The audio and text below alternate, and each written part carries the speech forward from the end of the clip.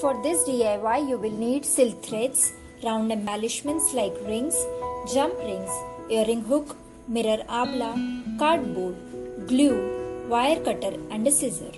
Let's start by making tassels. For this, wrap the silk thread around the cardboard for about 30 to 40 times till the thickness that you are satisfied with. Insert a thread underneath and tie it into a knot. Now slide your tassel off the cardboard. This is going to be the top of your tassel. Make sure you tie it tightly. Now tie another thread about half an inch below from the top. This will form the head of your tassel. Then find the middle and cut the joint ends of the string and trim off the end to give it a finishing look. I made 5 tassels for this. Now take the ring, glue it and start wrapping different colored thread to it. I opted for a pink one. Also it was too much time consuming to wrap single thread. So I gathered few threads together and glued the end of the string to make it easy to sneak it in through the jump ring and ring. Also while wrapping I added jump rings to it for attaching earring hook and tassel.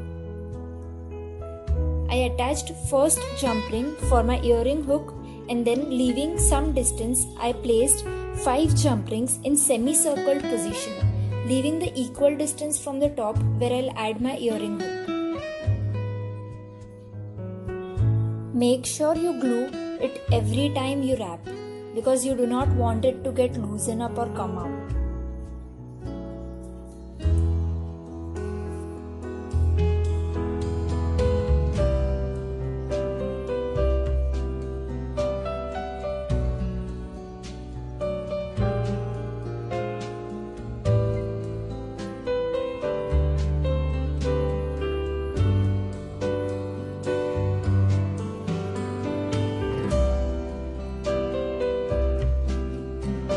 Once you are done with this, cut off the extra thread and glue the ends.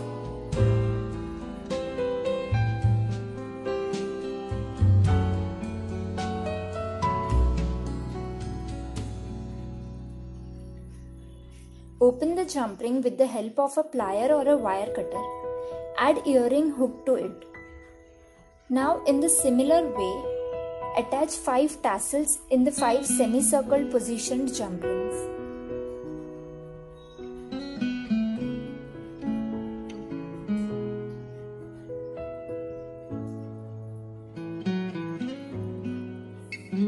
Now coming to the last part, glue the mirror abla in the middle of the ring.